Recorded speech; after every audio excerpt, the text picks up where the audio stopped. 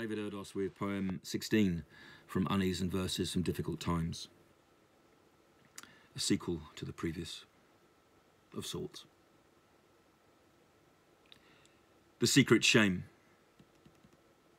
When you have to be silent about what you are because of the shame in the name spelt by others, then, as with past days, or Peter's first denial of Christ, danger is spread, impossibly thick. Blood as butter, or rather the threat of blood rises, its pressure perhaps reaching spike. And suddenly the world holds its breath after having that breath broiled by COVID. With news as the next sharp injection, and there is no vaccine at all for the germ that has lain under the skin for as long, it would seem, as all sinew. As the Middle East, having fractured, makes every bone brittle, and every moral upheld more infirm. Will America intervene as China calligraphies on the margins, after watching us cower and destroy ourselves all the more? And who will rake the ashes that fly through the warp in the wind made by missiles? In this new Next Testament story, will a Messiah appear to walk through heaven's door and re-emerge onto streets that are now full of landmines, while we in England grow more detached within pubs?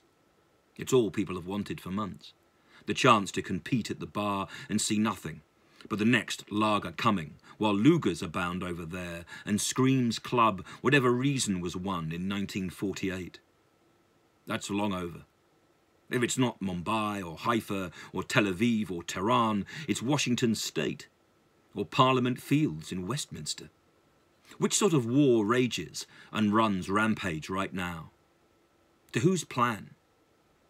Perhaps the world really does rest on the backs of that infinite number of turtles.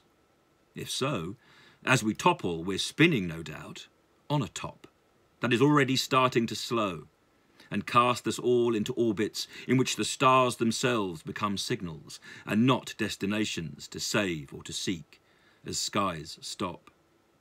War is always something else over there until it is over here. We're all Jewish. And more importantly, we're all Palestinians too. Indians, Pakistanis, Chinese, and those in Hong Kong. We're all Chauvin. We are George Floyd and the countless. We are the eternal disappeared and the found. I do not want to teach the world how to sing, as a song at best must explain things. But I want to bring the world back to poems as poems contain common ground, and perhaps common prayer, or common sense, retranslated into a new code for being.